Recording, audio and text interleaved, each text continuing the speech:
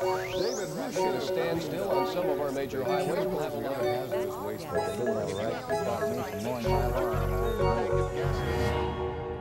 So, how many of you feel you're pretty busy in your life?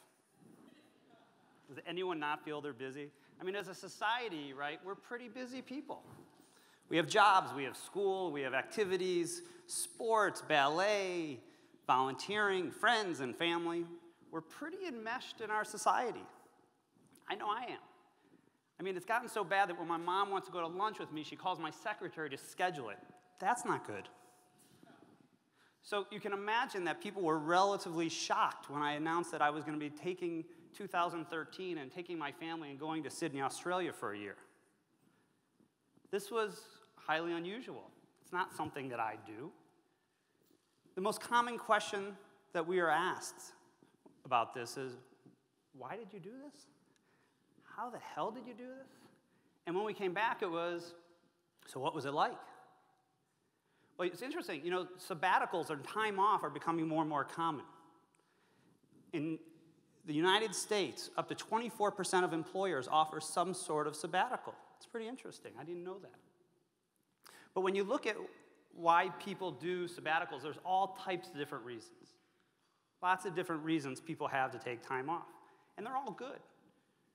But when we focus on why I took a year off, I need to get a little philosophical on you, a little philosophical perspective. I need to talk to you about my father, who I admire very much. You see, my father always ingrained in us growing up that it's important to set your sights on a goal. Set a vision. Work hard. And make sure you're focused on point B and work hard to achieve point B. There's no substitute for hard work. So in 2012, I was 41 years old and I would take in his advice. I went to school, I worked my ass off, I was doing what I needed to do. I had a good job, had a good family, I had what I thought a good life work balance, I had it figured out. But as many of you know, life sometimes throws us a curveball. Now, some of you may be wondering, well, what was your curveball? The truth is, I was lucky I didn't have a curveball. But during my day job, I'm a cancer surgeon. And these people do have curveballs. And I look people in the eye every day who are facing curveballs. I hear questions from them How long do I have? Will I suffer? I hear a lot about regret. I regret things I didn't do. I regret there are things that I should have done. You see, I can help them with their cancer. I can use the latest innovations, the greatest technologies available. And usually we win. I can offer them hope because hope is important. But one thing I don't have any technology for is their regret. People fear cancer, and I get it. People fear cancer. I've come to fear regret. Things that I hear from my patients every day. I wish I would have it sucks getting old. Yesterday, and I kid you not, yesterday, I'm ad libbing a little bit, but yesterday, patient said to me as I was leaving the office, Boy, it sucks getting old. I used to run, I was eat healthy, I've done everything right, but my knees hurt, my back hurts, I can't do what I used to do.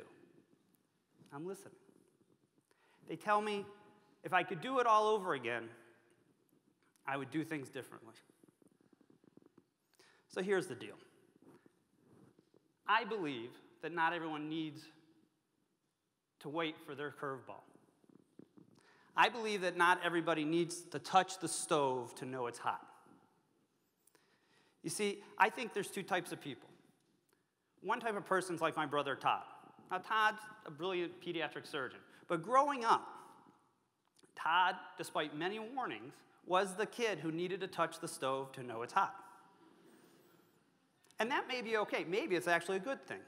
Who am I to judge? But I was the kid in the corner who would watch my little brother Todd touch the stove and deduce from his reaction that, in fact, the stove is hot. Now, folks, I call that free advice. you see, it's these perspectives on life that explain why. Why do I take my family and take a year and go to Sydney, Australia? You see, I'm listening to the free advice of my patients. I'm listening to the free advice of the people around us who've had life experiences. I'm hearing what they're telling me. I'm hearing what they're telling us. What they're saying is don't wait only to live life when you retire. Do things differently now. Don't wait for your curveball. Don't live with regret. So, how about how? Hopefully, I've convinced you for me why, but how about how? Well, for that, I totally blame my wife. You see, my wife Monica has been working on me for years to take a two week vacation. Two week vacation. Now, let me tell you, I don't take two week vacations. I'm busy.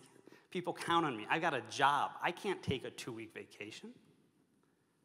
But at some point, in a point of weakness, I somehow agreed to take a two week vacation. And here's the trouble it was fantastic. She was absolutely right. Don't tell her I said that. I don't like to admit that out loud too often, but she was right. I relaxed. I didn't feel like I was in a hurry to relax. I had a great time with my kids and the family. We, I actually unwound. I didn't check my email much. But I really felt rejuvenated. And when I went back to work, I was ready. I really felt like I had a vacation. It was a big difference. And I also found out that when I got back to work, they did fine without me. So the next year, the next year we were, I was convinced, I was all in. We were ready to plan our next year's vacation. And we were sitting around talking as a family what should we do? There were so many opportunities. What can we do together? And I jokingly said, jokingly said, there's so much to do, we need a year to do it all. My teenage children quickly called my bluff and said, That would be awesome. We should do it. Let's go. That would be so great. They were excited. I quickly retreated and said, Guys, I agree, that would be so cool. But let me explain. I got responsibilities. I have a job. I got to like pay for the shoes on your feet. I can't do that. That's things that other people do. It's not in the cards for me, it's not in the cards for us.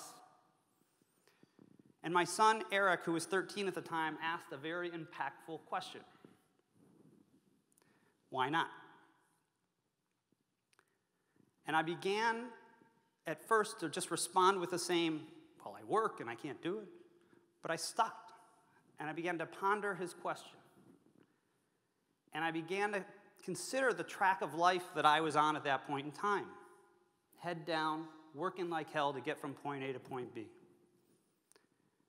I began to consider my patient's free advice. I also began to consider my father in law. You see, my father in law was a wonderful man, smart man, special. I loved him to death. And in 1998, he was diagnosed with cancer and he told, was told he had three months to live. We got 13 years out of him due to his persistence. But even before he was diagnosed, he had a theory on life. And it was very complementary to my father's because he agreed that we should set goals. He agreed that we should set a vision and work towards that goal. The difference is he thought we should keep our head up. He thought we should take detours because he believed that the journey from point A to point B was just as important as reaching point B.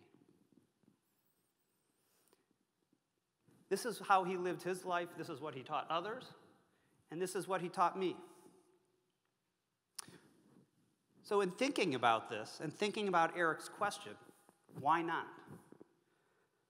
I realized I don't want to wait for my curveball.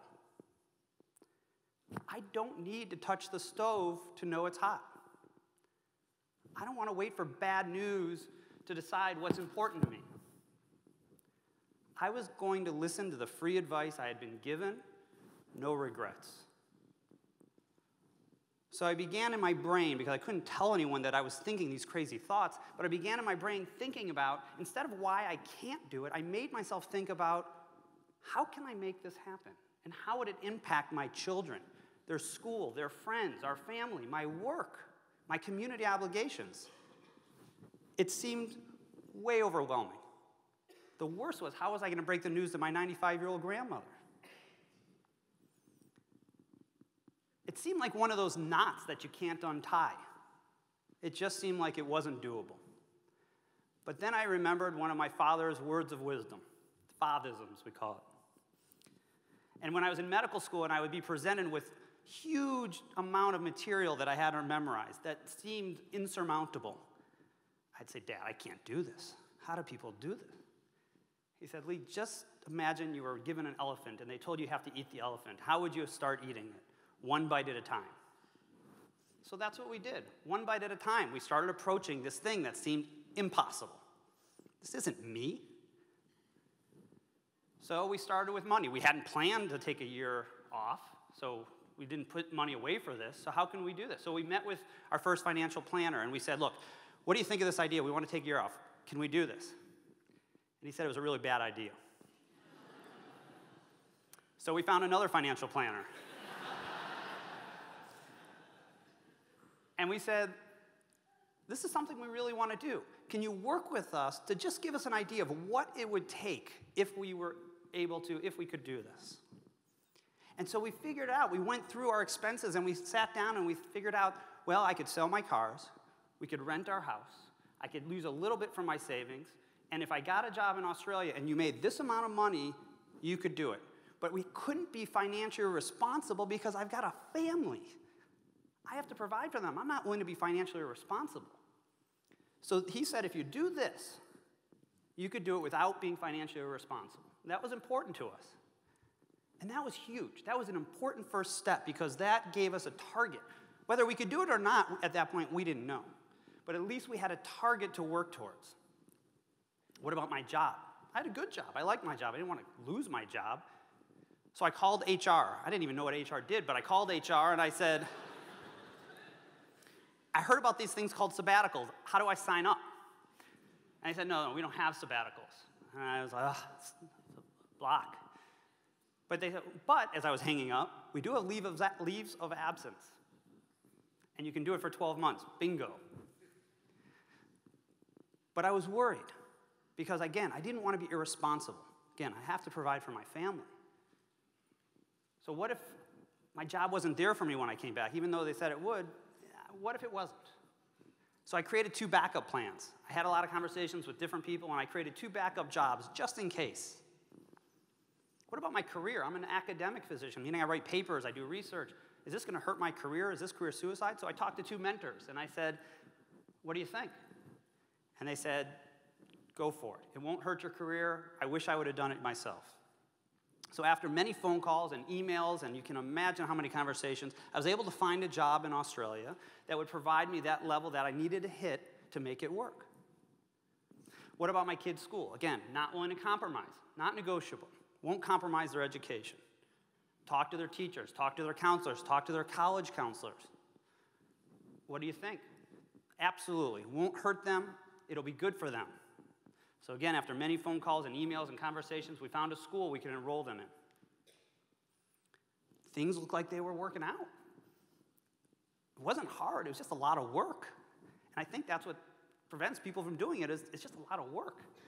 But I still wasn't ready because something was holding me back and I needed something to push me over the edge. And sometimes when you want some advice, you look for the advice you want to hear. So I went to a TED Talk actually by Stefan Sagmeister called The Power of Time Off. And he gave a really great idea. He said, you know, most people in their careers, they train for about 25 years. They study, they train, they develop skills. And then they work for about 40 years while they're planning and thinking about and dreaming about their next subsequent 15 plus years for retirement. This model seems to be broken because who knows what kind of condition we're going to be in when we reach our retirement? Are we going to be healthy? Are we going to be here? Where will our families be? What kind of appetite will we have for adventure? Didn't seem right. So he said, What if we just borrow some years from our retirement and disperse them throughout our working years? Brilliant. I loved it. Made sense. It was rational. I was in. I was sold. We were going to make it a go. So we were off. Middle of January, we took off. In the airport in, here in Cleveland, our only plans were as I had a job, my kids had a school, and we had a hotel reservation for two weeks. The rest we were going to figure out there. That was our plan. So upon our arrival in Sydney, we get there early in the morning, we dropped off our bags in the hotel, and we had things to do. We had to open a bank account. We had to find a car. We had to find an apartment. We had to figure out where the kids' school was, where my hospital that I was going to be working at was. We had to figure out these things, and we had to do them together. We assembled our furniture together. The kids adjusted to uniforms to their new schools. We explored as a family together, and what we showed the kids is that you can take your life and go somewhere else and be okay.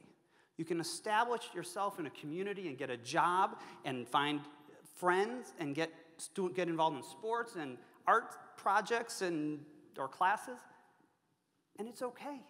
And you can establish a life. We talked about there was going to be good days and there was going to be bad days, and we needed to talk about that together.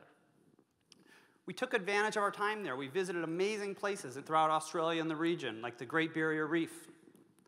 We went to Southeast Asia and we tried interesting foods. we had a lot of new experiences.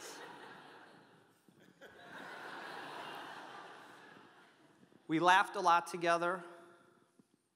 We learned a lot together. We met people from worlds apart, but yet weren't so different from us. We offered food to the monks. We learned a lot about Buddhism. We learned how to use chopsticks the right way. We visited a lot of Buddhist temples and saw a lot of Buddhas. We had unique experiences that will be with us for a lifetime.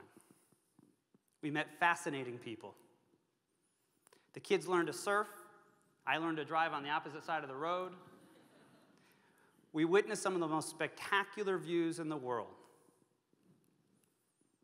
We made lifelong friends and we brought back some great souvenirs. and of course, we couldn't leave Australia without learning how to throw the boomerang. One of the most unexpected outcomes of this year was my job. When I signed up for it, it was just an opportunity to justify why I was going. But in fact, my job changed my life. Because there I was doing innovative research on MRI imaging of the prostate which I never would have had the opportunity to do. And it has changed the way I practice medicine at home.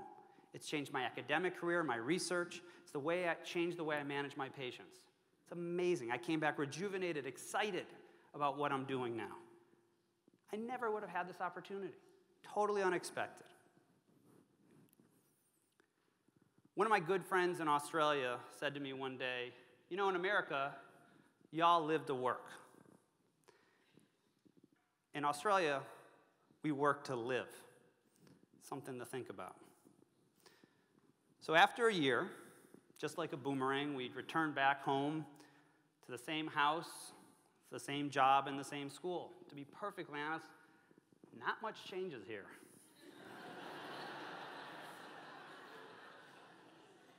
but we were changed forever. You know, we could have bought a fancy car or vacation home or something like that which we would never remember. New iPhone, we wouldn't have remembered that in 20, 30 years. But my kids will remember this for a lifetime. So, for those of you who are sitting here, even trying to comprehend the thought of getting off the grid, here are my thoughts. Don't ignore free advice. Find opportunities they will not find you.